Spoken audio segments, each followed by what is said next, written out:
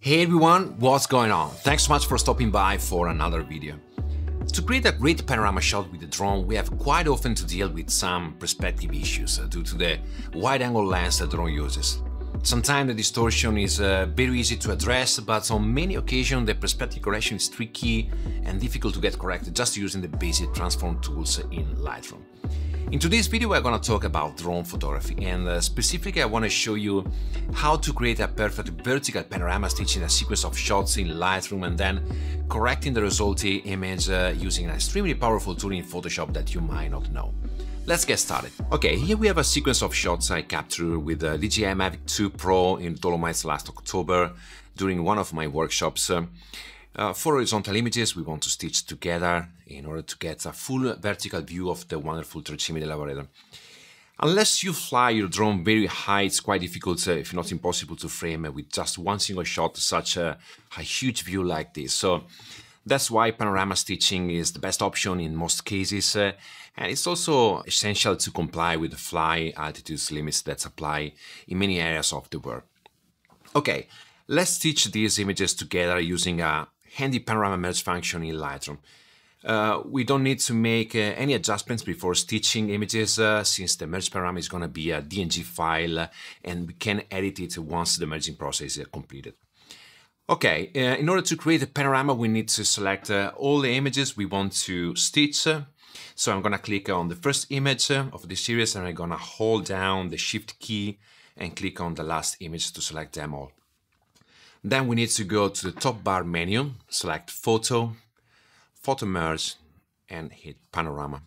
Or uh, uh, we can use the handy keyboard shortcut uh, once we select all the images, uh, the shortcut uh, Control M, and that's it.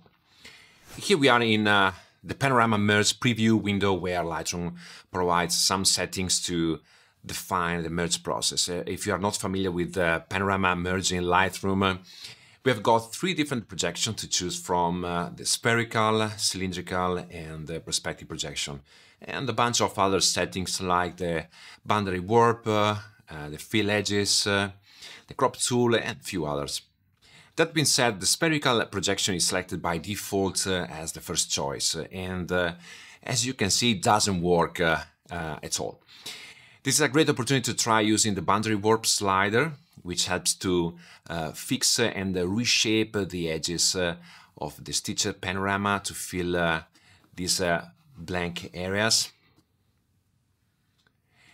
The result is definitely not exciting and uh, as alternative we could use uh, the fill edges switch uh, to let Lightroom fill uh, the blank areas rebuilding from scratch using the original image content. But again, the result is terrible.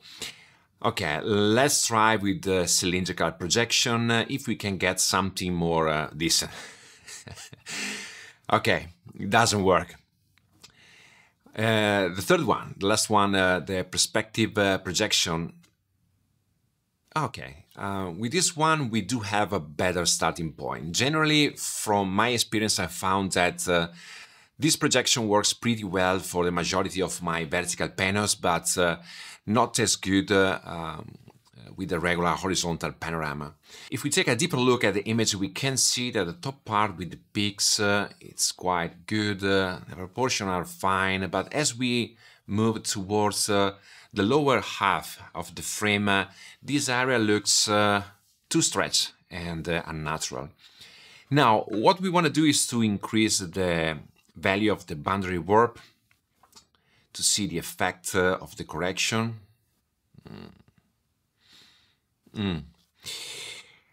The adjustment improves uh, the overall distortion uh, uh on the, let's say, the foreground here. But the midground and the peaks uh, uh, now look squeezed. Can you see it? The global proportion to me are still quite off. So I think we can't get anything better than this uh, with just using this basic controller in uh, Lightroom. That's why uh, now we need to move uh, into Photoshop uh, and uh, to take the shot to the next level. Okay, before opening the image in Photoshop, I'm gonna hit merge to merge the four images into a single DNG file. Okay, this is our final panel image uh, and uh, from now on uh, our goal is to correct the global perspective of this panoramic image, uh, rebalancing the proportion of the peaks uh, with the midground and the foreground.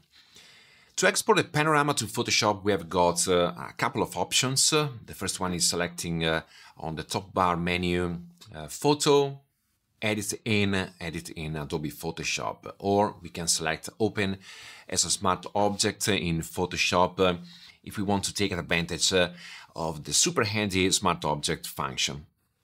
If you are new to smart objects, uh, um, to quickly summarize how it works, uh, it's an amazing option to make uh, non-destructive adjustments to the image where any edits uh, that you apply to a smart object can be undone and revisited. So like in this case, uh, this option gives us a huge benefit when we want to perform uh, non-destructive transform warps of the panel shot.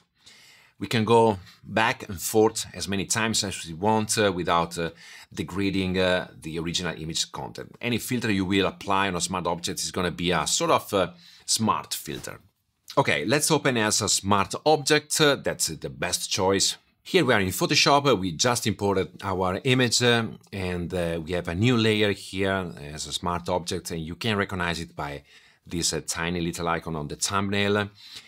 Before moving forward, I'm gonna duplicate this base layer uh, to create a copy of it uh, and make a comparison before and after uh, at the end of the process. So to do that, I'm gonna right click uh, over the layer and I'm gonna select new smart object via copy. Now I'm gonna rename uh, this one as base and uh, this one as warp like that. Sweet. Now let's change the global perspective of this uh, vertical panorama.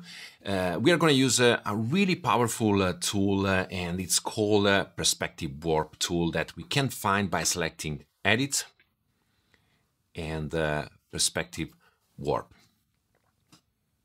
As you can see, the cursor icon is changed into a tiny little cross and being in the, the layout mode up here, by just clicking and dragging, we can create a, grid that covers uh, the area we want to modify. In this case, uh, we want to frame the main subject we need to uh, change, so the pixel. Okay, um, since we can draw as many grids uh, as we want, uh, the idea is to create multiple grids over some specific areas we need to warp independently in order to have much more flexibility on localizing the adjustments and less unwanted weird effects. The process is very straightforward. Just need to click and drag uh, to the point uh, you want. Uh, then line uh, the line turns blue and I'm gonna let go and the dots will automatically snap together.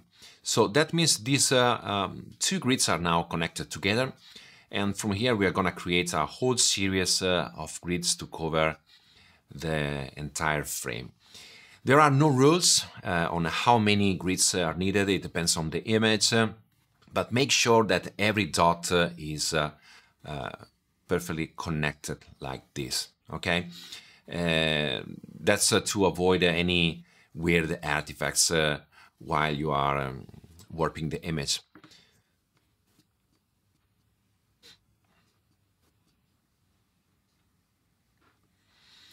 So now we're done uh, creating the entire layout. We're going to select the warp mode up here, where we can start moving uh, the dots around to reshape the image's perspective, as you can see. Nice. If you hold down the Shift key and uh, click, each line turns uh, yellow and uh, it, uh, it makes it straight okay, like this. It works either for the horizontal uh, and uh, and the vertical lines, uh, and it's very helpful to minimize how much uh, it's getting distorted. Okay, uh, to deselect, uh, you just need to re-click Shift and click over again. So I'm gonna drag. so I'm gonna start to reshape the the panorama. I'm gonna um, select this dot and start to drag down to give these uh, peaks uh, much more height Okay, it's much better. If you don't wanna, can you see here? It's a little bit unbalanced how it works. So we might want to add another horizontal yellow line to keep straight. Here we go. Think we are fine here. Disable it and disable this one. I'm gonna activate this one and I'm gonna drag down also this part of uh, the foreground. Maybe also this one. Here we go. Deselect, uh, shift click uh, to deselect. Uh, I'm gonna select this one. Let's have a look. Okay, so I can stretch uh, the left part of the image. I can do the same thing here. okay, and um, as you can see, I'm usually I create a, a blank colored um, layer under the main warping uh, warp layer so I can check if there are any uh, blank areas uh, to to fill okay? So it works like a sort of checker. Here we go I can grab this one and here we go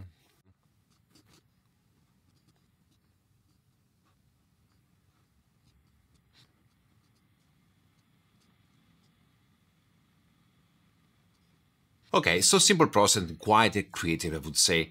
Um, actually, you can go wild with this tool, but keep in mind that uh, this, uh, uh, in this context, our goal is uh, to give the image a very natural look, uh, nothing too crazy. Once uh, we finished, um, we are gonna hit this icon up here to confirm the adjustment. Nice, this is our final warping result. I'm gonna hide the red layer and uh, let's uh, take a look at the before and after, before and after. If you want to refine a warping, it's pretty simple. Just uh, reveal the smart object filter, uh, just double click a perspective warp uh, here on the layer and you would be right back into the tool and uh, continue making changes without any image degradation. Maybe we can reduce uh, how these peaks are stretched. Maybe here. Okay. Done. And I'm gonna confirm.